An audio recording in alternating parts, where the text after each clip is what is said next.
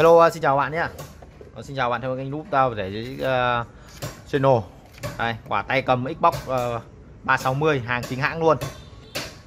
Mẫu này chắc nhiều bạn biết rồi. Ngày trước mình đã có một lần sửa thì các bạn xem rồi hôm nay có ông ông Nghĩa này, ông ấy vừa đi qua cửa hàng ông ấy gửi con này. Liệt phím X, chúng mày mình sẽ có một bài cho các bạn à, tháo ruột ra uh, xem lỗ thất bên trong và tiến hành sửa nha. Dòng này là dòng rất cao cấp luôn, nhưng ông nào mà đã chơi điện tử thì biết rồi. Không phải nói nhiều, ông Nghĩa đây liệt phím mic. Ở dòng này nó thuộc phân khúc phải nói là quá khủng khiếp luôn các bạn ạ. Ông này ông ấy dùng là được uh, mấy năm thì ông bảo là mua được 5 năm rồi. 5 năm một cái tay cầm mà ạ quá bền luôn. Ông ấy dùng đến mức độ mà cái nút uh, gạt thế này nó nó nó bục hết cả rồi bạn nó mòn đến mức độ nhầy mà ông vẫn dùng được bạn ạ. Phải nói công nhận sân chơi ấy. Lần đầu thấy luôn. Đây là lắp pin nhá hai pin 1.5 pin này pin sạc. Lắp vào đây. À, một là dùng pin sạc hai là các bạn có thể lắp pin thường vào đây nó cho phép các bạn lắp một loại pin sạc khác, thay thế. Nhưng mà thường thì mọi người mua con này là thường hay lắp cái pin sạc. Lắp vào đây. Cắm vào đây nhá đóng nắp, đây là nút kết nối connect này. Connect này. Xbox 360 và con này kết nối với nhau. Dòng đắt tiền thì mới có không dây này còn bình thường là toàn có dây cắm thôi. Về ta sẽ tháo nhá. Tháo xem nội thất bên trong của một chiếc tay cầm mẹ chính hãng luôn. Để tháo được cái ốc này thì các bạn sẽ dùng cái tô vít này nhá.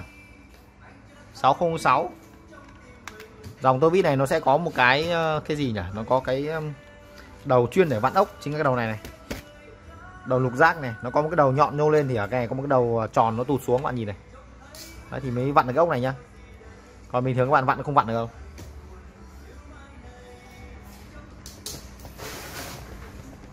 Đây xong bạn mở nhá. Tháo cái ốc cho mình này. Các cái ốc này giữ nguyên nhá bởi vì ốc này sẽ không có ốc khác thay đâu đây là một con hàng chính hãng nên thành ra các bạn mà nhìn cái nội thất của nó thì thôi rồi, chỉ có mây hồn thôi. Đây, chip Microsoft mẹ to đùng ngã ngửa trước mặt luôn. Nhìn thích luôn mà. Đây nha lắp pin ở đây hoặc là lắp đầu bên này. Con này thì tốt nhất là sửa chiếc thì cũng nên cẩn thận một chút, tránh nó hỏng hỏng phiền lắm ạ. Đây. Tay cầm này nha. Đây. các bạn nhìn thấy đẹp không? Ui rồi đúng hàng đắt tiền nó cũng khác mà nhìn cái chất lượng có làm rất đẳng cấp luôn. Con này mà ông này chơi 5 năm rồi nó vẫn bền như cơ mà. Nó đáng tiền lắm. Cái vấn đề là người ta dùng rất là giữ tức ông này ông dùng rất là giữ máy bạn ạ, chứ không phải dùng mà quăng quật đâu. Chơi xong thì bỏ một chỗ thôi. An toàn, pin dùng xong chắc tháo luôn. Bên nó có hai cái ờ, chân cắm của cái tay rung này này, ông để phía này. Đấy, các bạn nhìn thấy chuyên nghiệp đẹp không? À, nhìn rất mềm rất đẹp luôn đây là cái à, phím bấm nhá. Cái, cái thường thì cái bệnh này các bạn tháo là lau cho mình cái phím bấm này, này. Còn nếu mà lau phím bấm không được thì bắt đầu ta phải xử lý tiếp về khu bên trong. Nhưng mà thường thì cái này cầm kiếc phải cẩn thận. Bởi vì nó hay bị hỏng cái các cái chỗ này này. Các bạn chạm là xong nó chạm mạch xong nó hay bị chập mạch chập mạch nguy hiểm lắm nó mà cái con này các bạn nhìn để ý nhá nó chung quanh nó chả có cái gì luôn có mỗi con này. Nếu mà nó đã hỏng mà nó lây vào con này thì coi như là, là vứt đi luôn mà không thay được đâu. Bởi vì con này không có đồ để thay.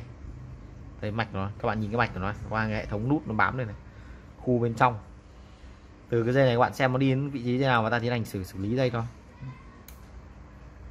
Cái ờ, chiếc tay cầm này định ờ, sửa cho bạn xem tiếp nhưng mà chắc không ăn thua rồi bởi vì cái tay này nó đang bị một cái tình trạng là cái phần mềm điều khiển của nó nó cổ quá máy nó không nhận bạn ạ.